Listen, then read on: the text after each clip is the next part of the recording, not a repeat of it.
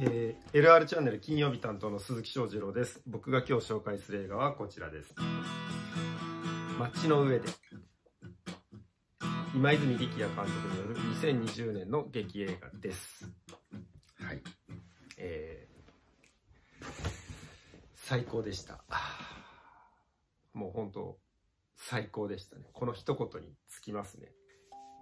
映画見てる間中ずっとあのーこの映画が終わんないでくれ終わんないでくれってずっとなんか心の中で願いながら見てましたね。130分2時間10分あるのでそんなにね短い映画じゃなくてちょっと長めな映画なんですけれどもでもその長いと感じずというか映画よ終わんないでくれってずっとなんか幸せな気持ちでずっと見てました。なんか記録としても下北沢のある時期をこの2010撮影されてたのは18か19ぐらいだと思うんですけれどもそのはい下北沢の記録としてもうん後々またね貴重な映像になっていくんでしょうし、まあ、あと僕が下北住んでたんですけどその頃は今から20年以上前20年ぐらい前かから住み始めてて10年近くまあ下北沢住んでたんですけど。その頃とももちろんね今変わってますしあの映画の劇中のセリフでも出てきますけど南口の階段がもうないとかね。昔そこに蔦屋とドトールがあって、うん、でも白鳥座っていうあそこのはま未だにあるって言って、うん、なんかそう思い出しましたね。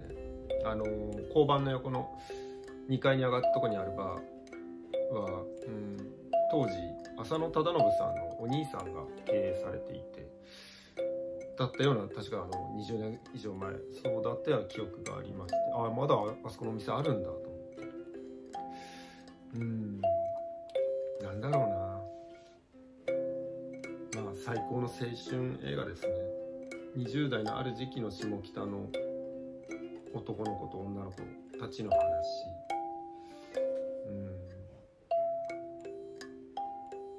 なんか自分も昔自主映画撮ったりしてたからああやって自主映画に出てもらいたいっていう人に声をかける時のドキドキ感とかも良かったし。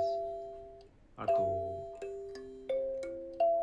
なんだろう恋愛感情を持ってない女の子と喋る時。で女の子からしたら男の子と喋る時にうーんなんでこんなに好きな人の前ではこういうふうに普通に喋れないんだろうみたいなこともなんか似たようなことを言って、思ったことあるし言ったことあるなと思ってうんあの緊急事態宣言がまた出まして、えー、映画館もね大きいとこは休業しちゃいますけれども、まあ、ちっちゃいところでは見れるので。ぜひ見てもらいたい映画です。あのなんだろうな。役者っぽくないんですよね。出演者の人たちがみんな。本当にそこにいるっていう。実在感があって。だからそ、えー、全員なんか愛おしく見えるし。うん。まあ若林龍也さんのねあの魅力。愛がなんだでもあの本当に好きでしたし。あとこの前のあの頃でも良かったしでも今回また、うん、若林龍也さんの魅力大爆発。ああと成田凌さんがあ友情出演でちょこっとしか出てないんですけれども。うん。いいなと思って。で女優さんたちはみんな全員本当に魅力的ですね。可愛くて演技うまくて存在感あって。うんすごいなって思いました。うん。あと午前中の会ってこともあって日曜日だったけどえー、劇場の3分の1ぐらいしかお客さん入ってなかったんですけれどもでも、うん、みんなで声出して笑ってて、うん、すごい楽しかったな。だからやっぱあのまあまあ本当にこの時,、えー、時期なんであの行くの映画館とかにね行くのが嫌だっていう人もいるかもしれないんですけれどももちろんあの換気とか消毒はもう映画館はバッチリですし去年からそういうクラスターとか出てないですしあのみんなで見てなんか一緒に笑ってでなんか幸せな気持ちで劇場後にしてほしいなっていう感じの映画でした。で下北知ってる人だったら余計またなんかいろいろ街中見て面白いだろうしまああと民邸に行きたくなりますね。ラーメンとかねあのキムチが乗ってる食べたくなるし。